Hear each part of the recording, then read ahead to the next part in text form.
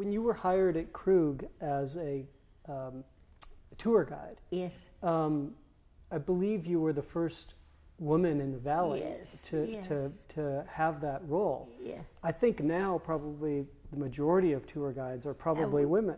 I think so. Um, did did you feel like there was ample opportunity for women in wineries?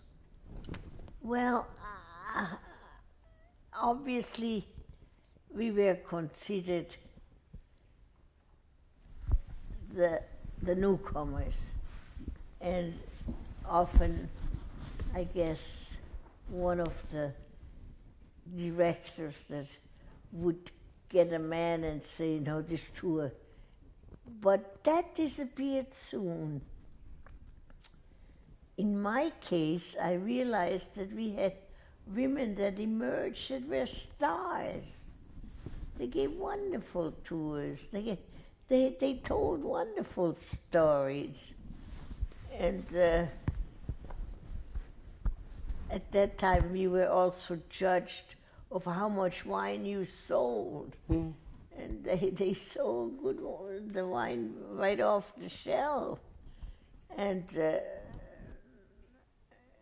no, no, uh, we soon had a place.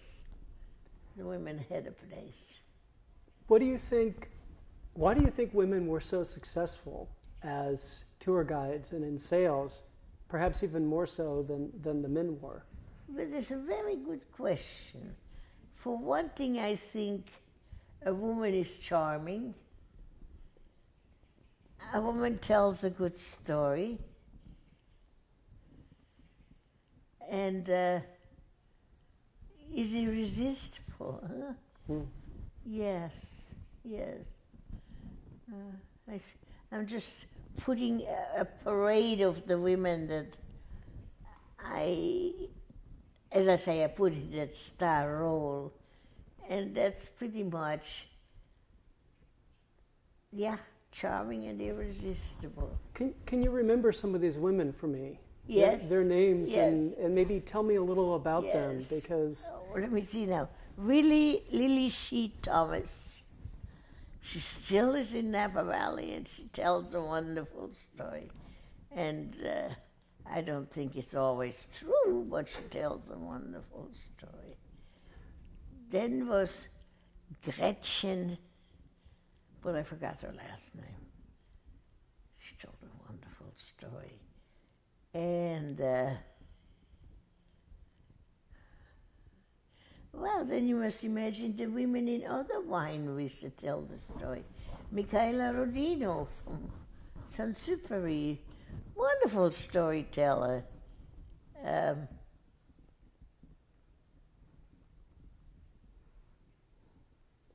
when did when did you start to see women um, move beyond, you know, the hospitality part of uh, the I wine would say industry? sort of early mid 70s. Mhm. Yes, yes. And once they had achieved a certain level, you know, that they told a good story, that they had a good tour and so forth, they just improved. Mhm, mhm.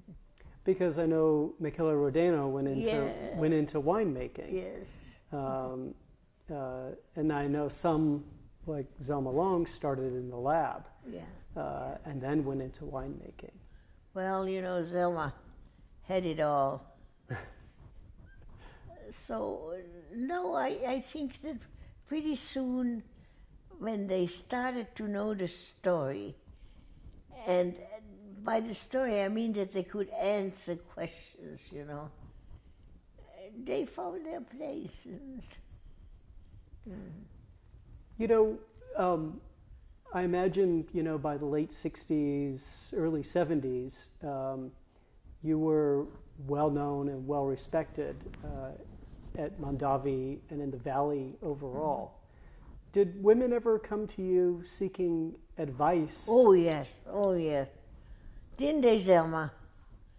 They wanted to know how to succeed, what would help them to get a better job, uh, what should they do maybe to, po- to progress in this whole business. And uh, we had many sessions, and somebody that always gave advice straight on without compliments was Robert Mondavi. Hmm. You know, he never made stories, he just said, This is it, and I, I, I suggest you do it, and go for it, don't be afraid, you know. When when women came to you with seeking this advice, Yeah, yeah. were there specific things you would tell them? Specific. Pieces of advice that you would give them when women came to you seeking Well, seeking obviously, you kind of knew a little bit where they wanted to go. So, and if it was just very open, you'd ask them. If the world was your oysters, was your oyster, what would you like? And uh, I then started to think back and say, look, what have happened? There were no women anywhere. Now, we have winemakers. We have winery owners. You know, it has changed, yeah. Think of what we have today. You said half of the women, half of the tour guides were women, but the winery owners, the, the proprietors, the people that are really deeply involved in, in winemaking, all of that is relatively new, 20, 20 years.